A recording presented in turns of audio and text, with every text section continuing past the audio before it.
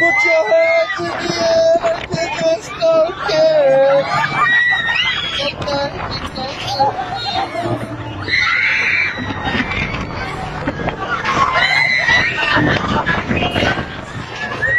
Hey!